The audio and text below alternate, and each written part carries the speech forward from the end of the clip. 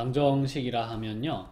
뭐 이제 이렇게 긴 어려운 말로 나와 있는데 이 말은 잘 읽어두세요. 쌤은 조금 더 그냥 편안한 이제 문장으로 한번 얘기해 보겠습니다. 그러니까 구해야 할 미지수가 있는 게 방정식이에요. 구해야 할 미지수가 있는데 그게 는이라는 기호와 같이 있으면 이거 방정식이 됩니다.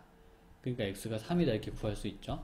뜬금없이 x 더하기 1이 있다. 그러면 x를 뭘, 뭘로 넣어야 될지 결정을 못 하겠단 말이야. 이건 방정식이 아니라고. 어. 미지수가 있고 는이 있으면 방정식이다. 이렇게 생각해 주면 좋겠어요. 미지수가 있고 는 기호가 있으면 방정식이다. 물론 내 얘기는 조금 왜곡된 면이 없잖아 있지.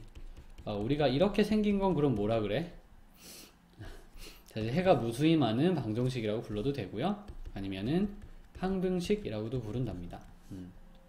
조금 있다가 이제 해가 무수히 많다 개념이 두 번째 장부터 나올 거거든요. 그때가 되면은 무슨 얘기인지 알 겁니다.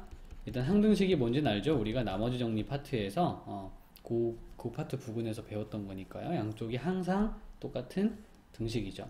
내가 해가 무수히 많은 방정식이다 이렇게 봐도 괜찮다는 거야. 해가 엄청나게 많은 거죠. 어.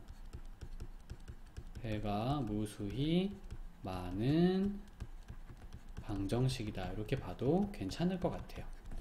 예, 조금 이따가 이게 무슨 얘기인지 뒤에 가서 좀 진행해 줄게요. 옛날에 이제 EX가 3이다 그러면 X가 2분의 3이다 이렇게 말하면 끝났었거든? 그지? 그래서 뭐든지 AX는 B가 있을 때 X는 A분의 B가 되는 거야. 뭐 여기서 경험한 것처럼 여기도 되겠지라고 생각한다면 오늘부터는 안 돼요. 예, 이게 오답입니다. 왜냐하면 이게 시도 때도 없이 다 이렇게 되는 게 아니거든. 음. EX가 0이다. X는 2분의 0이다. 여기까진 괜찮아. X가 0이 되거든. 세 번째 봐봐. 0X가 5이다. 이렇게 되면